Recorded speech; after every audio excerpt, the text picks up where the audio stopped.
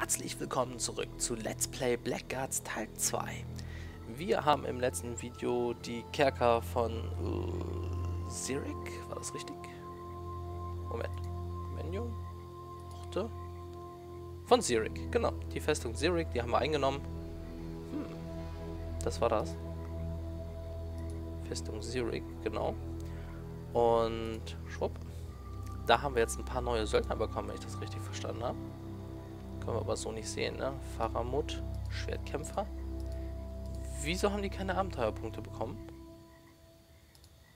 Verstehe ich nicht. Hm. Das ist seltsam. Ich dachte, die bekommen Abenteuerpunkte. Oder, ah, wir kriegen nur Abenteuerpunkte zusätzlich für mitmachen oder nicht. Strange. Okay. Quatschen wir mal alle nochmal an. Was machst du da? Fliegen, fangen. Es ist ein Trick. Greift sie von vorn, so fliegen sie direkt in eure Hand. Spinnen haben ihre eigenen Mittel gegen Fliegen.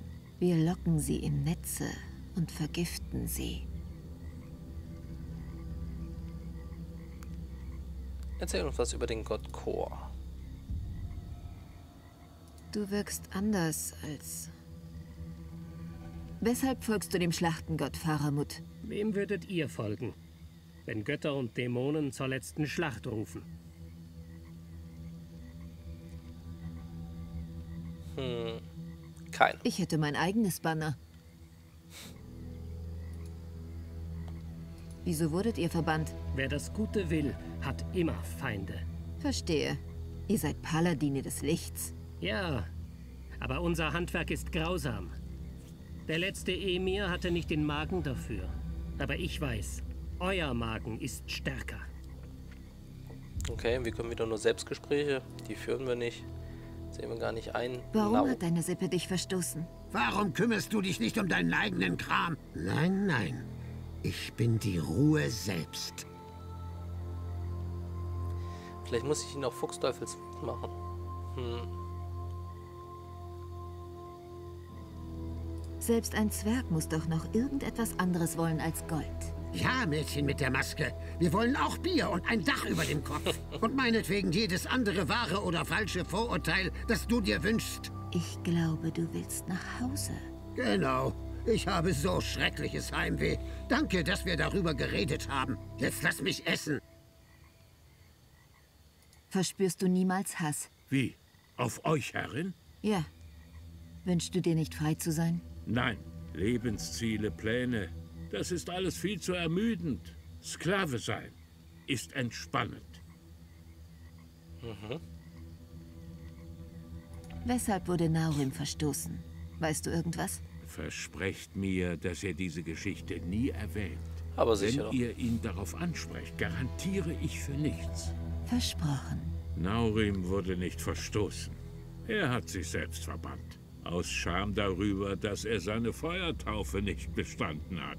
Feuertaufe? Ein lächerliches Ritual für junge Zwerge, die erwachsen werden. Sie müssen sich überwinden, durch ein Feuer zu gehen oder dergleichen. Ich dachte, Naurim mag Feuer. Oh, er ist besessen davon. Jetzt wisst ihr warum. Mhm. Vielleicht kann uns das nochmal nutzen. Wie fühlt sich das an, ein Gott zu sein? Wenn alle zu dir aufschauen? Wie Samthauch aus den Blüten des schleichenden Todes. Am ersten Tag fühlst du dich frei wie ein Vogel. Danach drückt es dich nieder. Hm. Deine ehrliche Meinung. Werden wir gewinnen? Nein. Wir werden ein legendäres Ende finden. Wie Hayatepe, als er auszog, die Yakai zu jagen. Ja, deswegen ist er überhaupt mit. Ne? Wenn er wüsste, dass wir gewinnen, wird er, glaube ich, gar nicht hier rüber mitkommen. Er wollte ja einen ehrenhaften Tod haben. Schauen wir uns mal an, was wir für Gegenstände bekommen im letzten Video. Hier so ein schicker Lederharnig. Schauen wir mal, dass in Nauri ein bisschen was geben. Giftresistent 10 runter. Dafür wird Stich erhöht. Nimm das mal. Lederbeinlinge auch.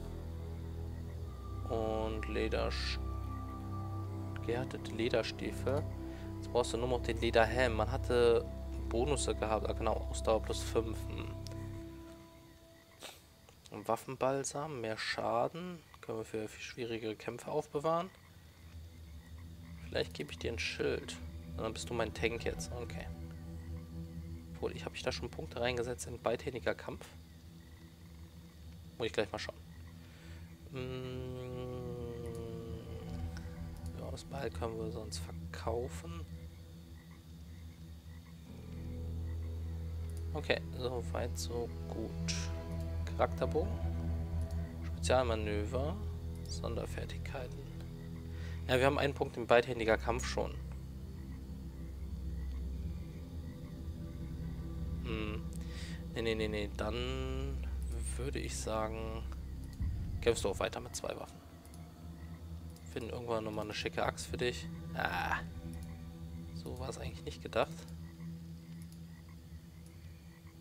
So, genau. Ich Schau hoffe, mal, ihr was seid... du hast. Jo. Warte, Kampfstab. Kriegern oft als Wanderstark abgetan, ist der Kampfstab eine effektive und flinke Waffe, wenn man sie zu führen weiß. Okay.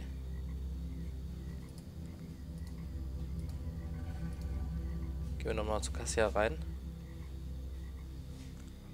Ist auch besser als die Waffe.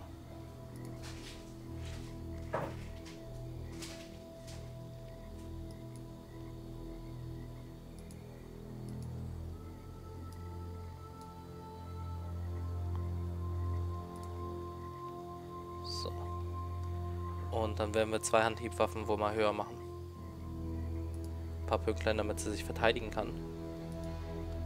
Wird sowieso alles mit Magie sonst hantieren. So weit, so gut, würde ich sagen. So, Ausrüstung. Sagen wir mal, wir haben hier diese Kaftan, die braucht doch kein Mensch mehr. Moment mal. Hat 35 Giftresistenz. Hm.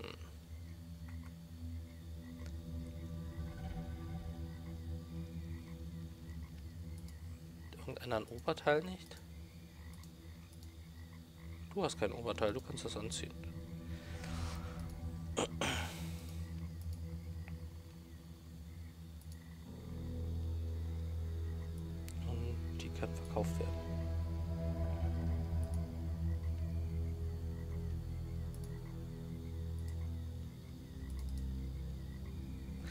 Achso, ich hätte den schwarzen Kaftan anziehen sollen und die hier verkaufen sollen. Ne? Hm, Ja, egal. Jetzt ist es so. Dann schauen wir gerade nochmal rein beim Charakterbogen, ob wir nicht bei Cassia ein bisschen bei dem Waffentalent reinsetzen. Zweihandwaffen. Und ich hoffe, dass das wirklich die Zauberstäbe jetzt sind. Dass das nicht auf Stäbe gehen wird. Ah, hier, Zweihandhiebwaffen können verheerende Schäden anrichten, sind dafür aber äußerst unhandlich und bieten nur sehr wenig Schutz. Ausnahme sind die Zauberstäbe. Sie richten zwar nicht viel Schaden an, bieten zwar dafür jede, aber je nach Stab besondere Vorteile. Okay, es ist definitiv der Stab. Setzen wir mal alle Punkte rein, die wir haben. Und gehen komplett auf Verteidigung. Das ist schon mal richtig. Schließen. Speichern. Und wir wollten hier beim Naurim nochmal ein bisschen die Werte verändern. Damit er auch mal verteidigen kann. Sagen 30 auf Angriff, weil das schon wichtig ist bei ihm. Du bist sowieso auf Verteidigung. Und du brauchst nicht so viel in Angriff. Wir mal so in etwa, ne? Jo, ich glaube, das ist so in Ordnung. Und hey, wir können gar nicht raus. Warum? Das hier ist und hier ist der Ausgang irgendwo, ne? Das ist seltsam. Gehen wir mal darüber. Muss ich vorher irgendwas machen? Ich muss den Übungskampf machen oder warum? Warum geht's hier nicht raus? Hier ist doch Exit. Weiterspielen. War hier nicht irgendwo der Ausgang? Ah, verlassen. Space. Okay. So, dann schauen wir uns mal die Erzmine an, wo die Goblins drin sind.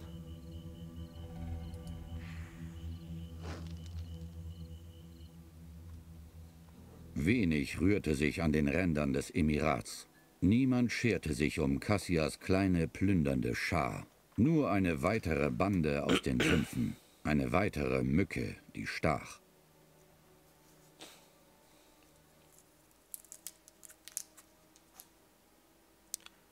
Also, ich würde sagen, Bogenschütze ist ganz okay. Wieso hat der einen Stern? Weil Nahkämpfer plus 10 Schaden jetzt momentan hat, sehe ich das richtig? Ich hätte lieber aber trotzdem gerne Fernkämpfer, glaube ich.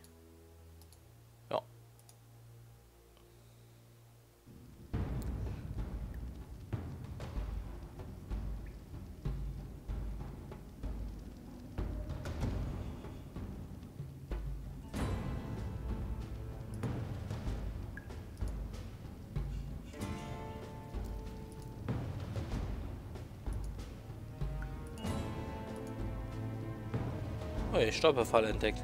Eieiei.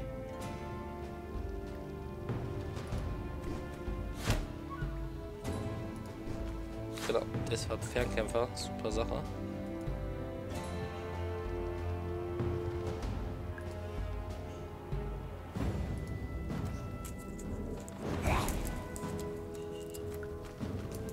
Oh, da flieht einer. Warum? Kann er hier irgendwo Alarm schlagen?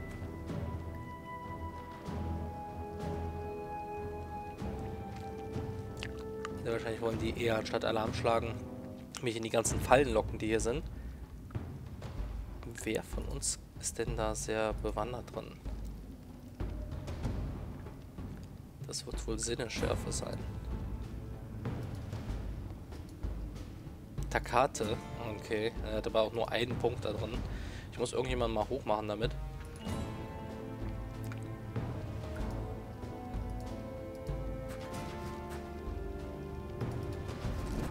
Ah, und schon in eine Falle gerannt. Super, okay. So viel dazu. Die sollten wir mal one-shotten. Nehmen wir mal die Stufe 2. Schauen wir mal, ob das reicht. Oh, wir können sogar die da hinten. Sehr schön. Nehmen wir doch die. Wo wollt ihr denn hin? Ach, ich liebe Cassia. Ja, jetzt kommt der, der Fährten suchen hat, nicht nach vorne. Das ist schlecht. Also wartest du.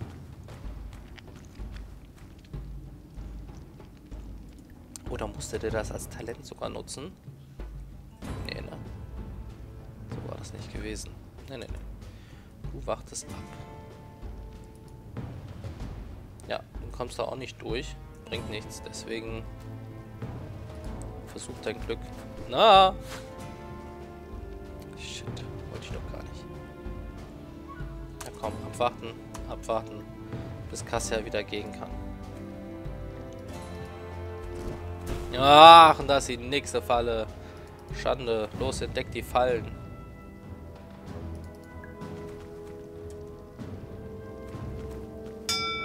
Ach, da war doch noch eine Glocke. Alles.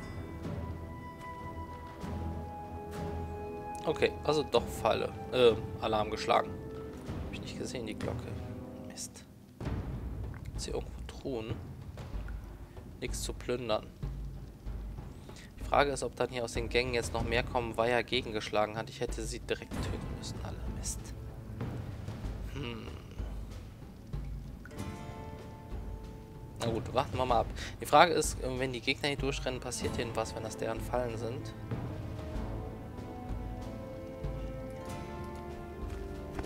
Äh, ich dachte, ich bin genau... Ähm, ach, Schande. Ja, wartet mal ab.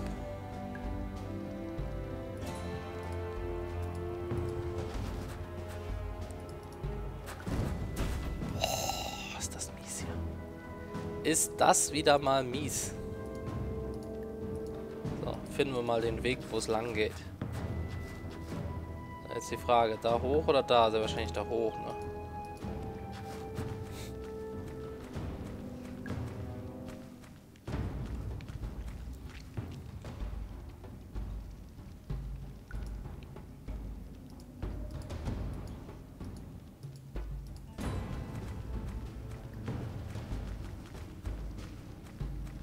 Ist bestimmt wieder eine Falle. Ja, und die scheinen einfach durchrennen zu können.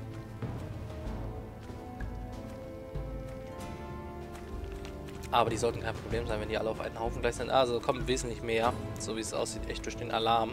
Mist. Naja, gut. Man lernt aus Fehlern.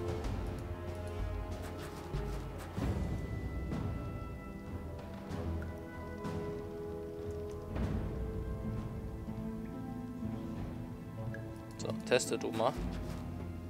Was hier lang geht. Triffst du von hier überhaupt? Ne, da triffst du gar nicht mehr. Schau mal, wo hier Fallen sind.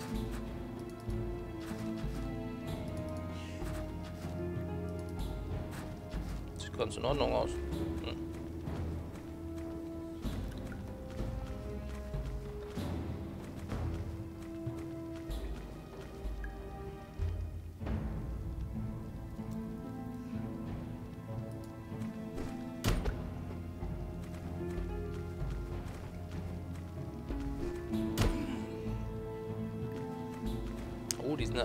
Einen Haufen. Da muss ich jetzt gleich mal einen dicken Feuerball hinpfeffern. Boah, es kommen echt viele. Also ich hätte echt schnell ausschalten müssen. Die drei.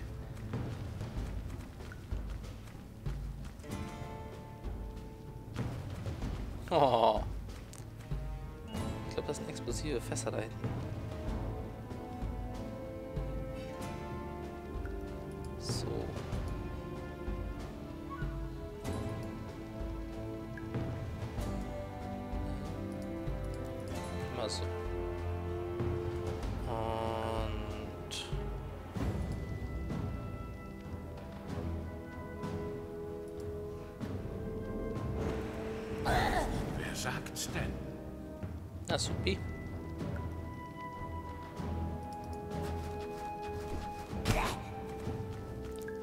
Und der nächste weg.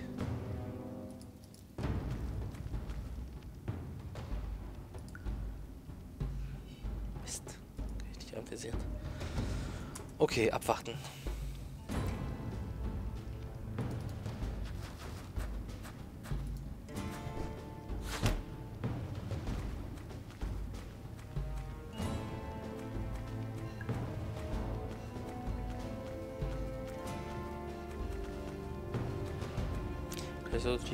Bekämpfen, bis alle hier sind und dann den Feuerball machen.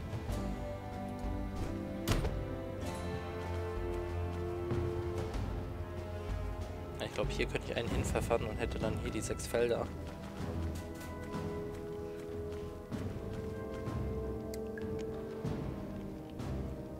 Triffst keinen. Fällt mir nicht. Wenn du da oben hingehst, ja. Dann triffst du welche.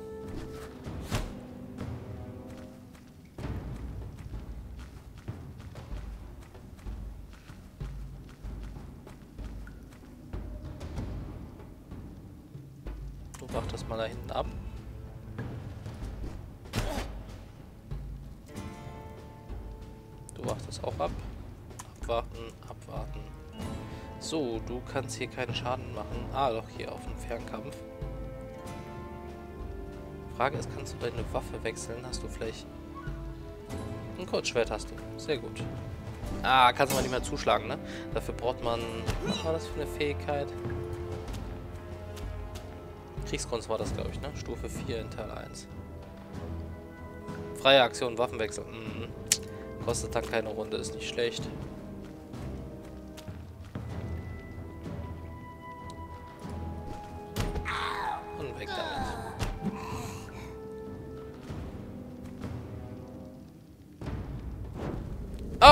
Nein, die haben einen Zauberer. Ah, Schande, ich muss raus, die haben Schamanen. Da habe ich da nicht drauf geachtet. Goblin-Schamanen. Ach du je, und jetzt pfeffert die voll die Sachen dahin. Nix wie weg hier. Stehen auch noch alle auf einen Haufen. Gar nicht gut. Der darf nicht sterben, der Bogenschütze.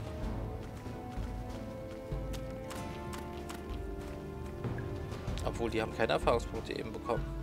Scheint wohl egal zu sein.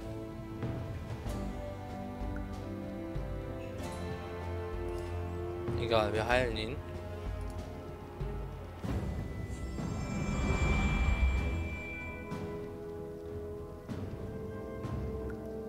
Ja, da sollst du jetzt nicht reingehen, weil die Kassia soll jetzt da einen Feuerball reinpfeffern.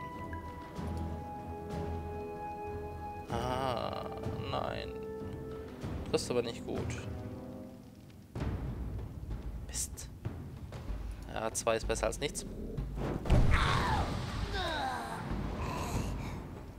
Würde sagen, du stirbst durch. Du sollst da hinten sich mal um den da kümmern. Der macht mir gerade ein bisschen Sorgen. Ja, triffst du nicht, ne? Schlecht. Nein! Ah, er hat nicht getroffen, weil er keinen Bogen ausgewählt hat. ich bin ein Hirni. Ja, genau. Mann. Ich muss wechseln wieder auf Bogen. Oh oh, oh oh, ja, und da ist einer futsch mit. Gefällt mir nicht. Minus 2 und er ist direkt weg. Ich kann ihn also nicht mehr wiederbeleben. Schade,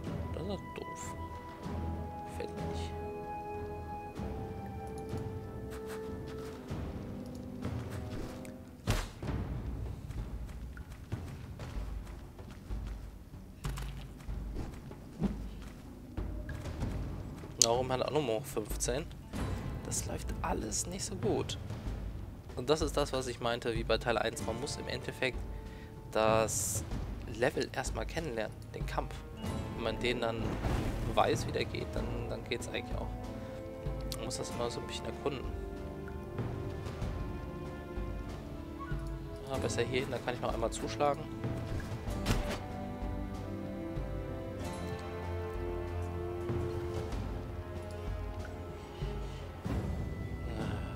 Damit Schaden. Das ist nicht gut.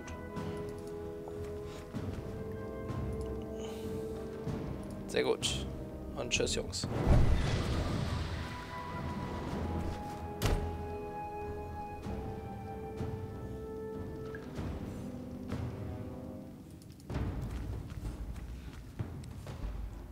Hey, warum rennst du da nicht hin? Was macht er denn jetzt? Und der nächste Feuerball. Ignifaxias Flammenstrahl. So. Geh etwas vor.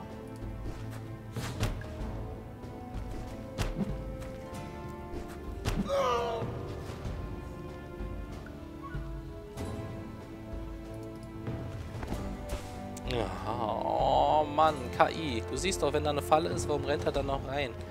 Kann er doch drum herum rennen.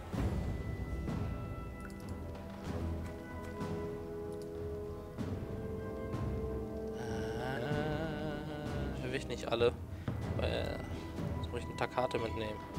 Wollen wir nicht. Komm, dann nehmen wir die zwei.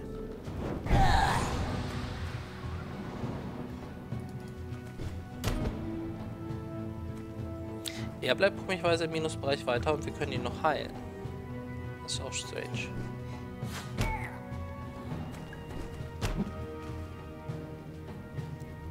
So, wir brauchen auf jeden Fall Heilung.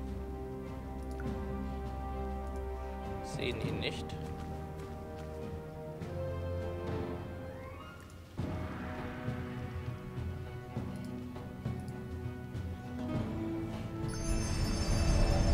Ah, ich spüre die Kraft. Ich bin wieder da.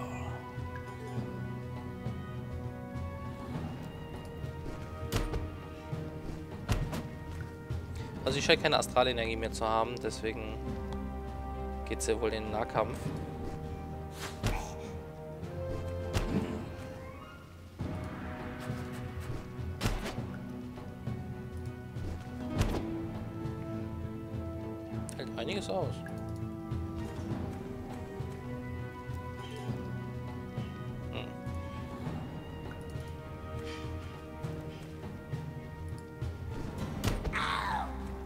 Und weg ist er. Sie ist immer noch nicht, ne? Schlecht.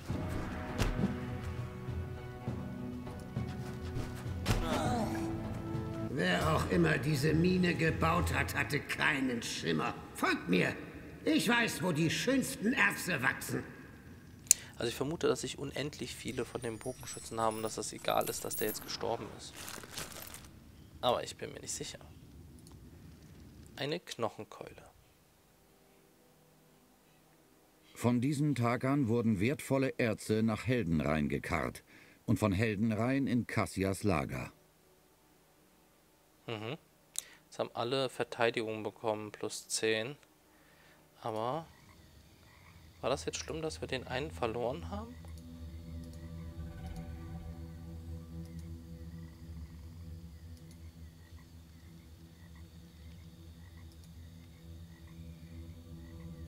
Anscheinend nicht.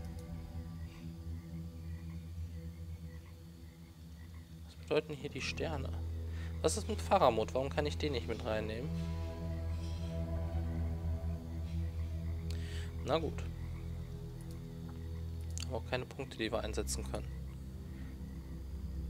Dann würde ich sagen, das Quatschen machen wir wieder beim nächsten Mal. Bis demnächst, euer Jojo.